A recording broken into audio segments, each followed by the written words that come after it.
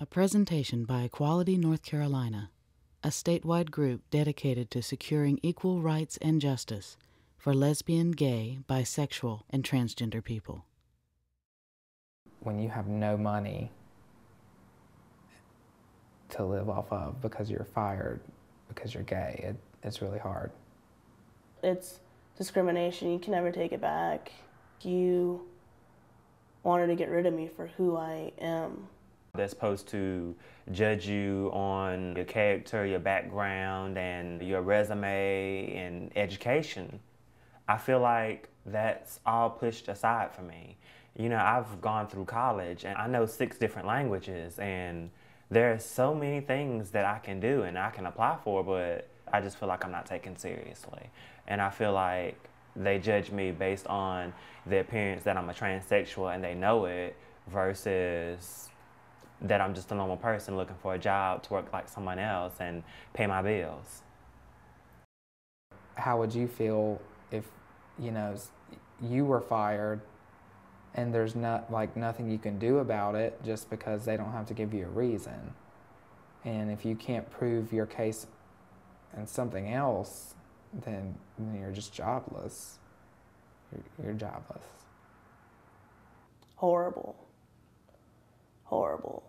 The feeling of what it felt like that I wasn't good enough to work for them. I worked at a factory for two years, and every year they would have a Christmas party, and it would be for all the employees to come. My superiors told me that I wasn't supposed to go to this party and that if I showed up, that I wouldn't be able to keep my job. Then there was another incident where I worked as a cashier in a store. And my manager at the time knew I was transgender.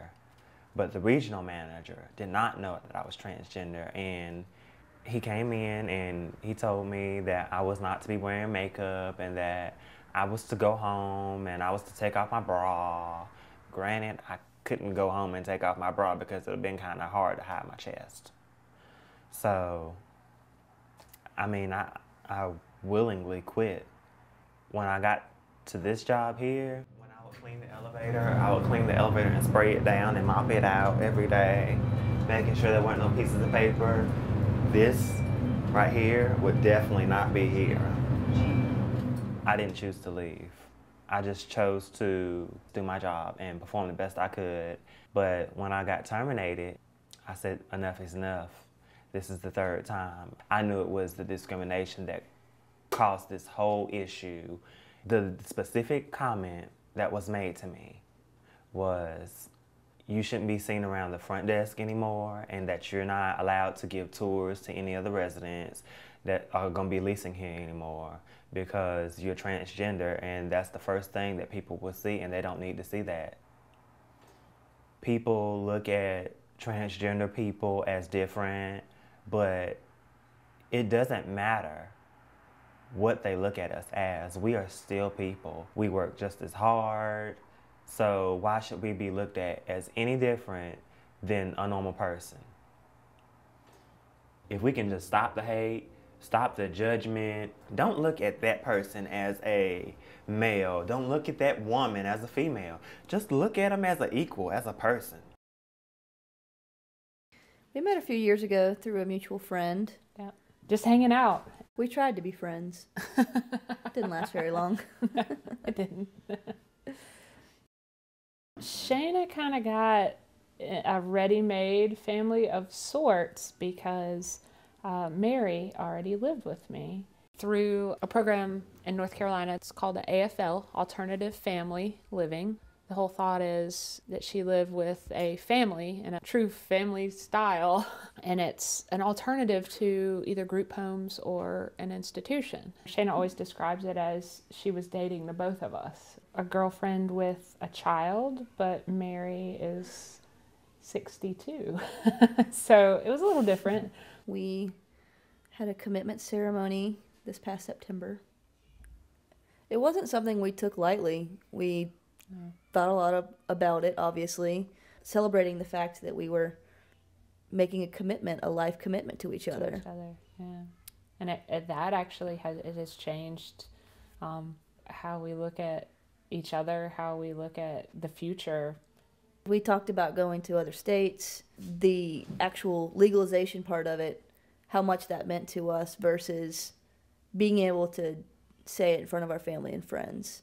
And we ultimately chose to be in front of our community more so than we did the law, but it would have been perfect. It would have been a perfect day if we had been able to do both.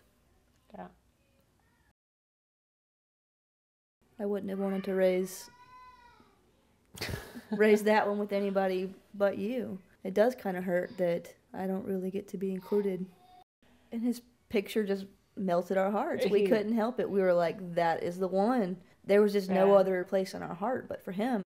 here we are meeting our son and i remember shana had the camera and this nurse just plopped him in our lap didn't say anything Like, here he is. social worker didn't even introduce herself we're sitting there and there's just chaos there's all these kids um you And know I, I do a these- little, one of these, a little reach Yeah, around. so she's like and Jax's head is like in the corner, and we're just like, like our first family photo. Like, this is awesome, so awkward.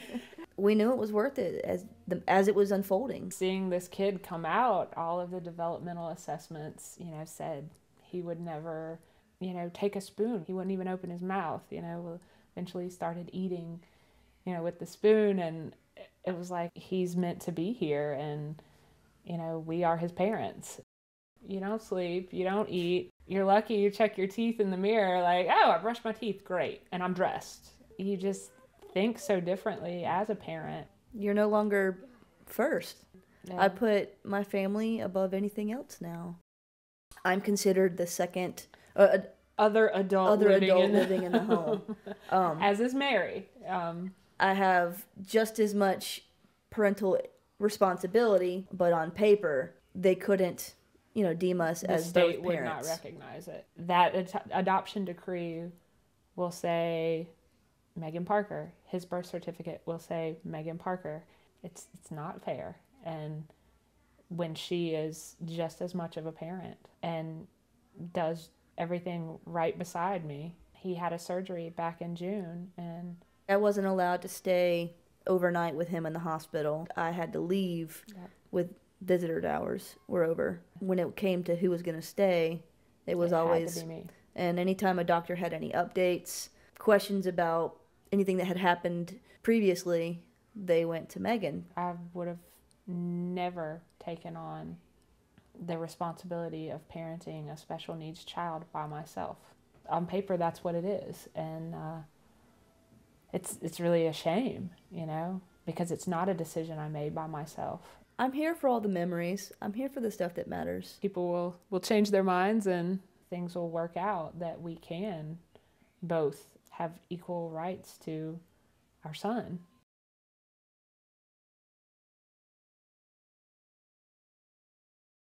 And then when you were in the hospital, when my mom came, oh, your mom. The doctors would just talk, talk, talk. And even my mom was sort of like, you know, you're talking to the wrong person, you know.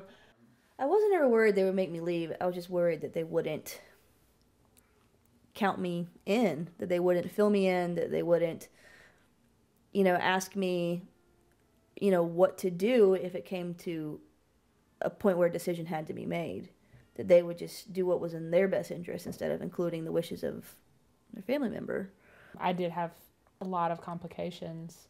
And anytime I would share some information, one of the nurses just discounted me. Well, I was just having to answer a lot of questions where she could easily have answered them. I was so like, Drugged. drugged. and the financial advisor sat right there and just kept directing every question towards me. Shana was in the room. She did speak over me a couple times. It was kind of like that. I would look at her like, help. I don't know. If she were my husband, we wouldn't have had those issues. You know? We wouldn't have had to ask for those liberties. They would have automatically assumed to include that other person in those decisions or that information, but I had to constantly ask to be included. And a doctor would be walking away as they left her room. I would have to kind of chase them down and be like, "Can you please tell me what's going on?" Yeah. We're a family, just like any other family. We're not asking for anything different. We're asking for the same. Twinkle, twinkle, little star, how I wonder what you are.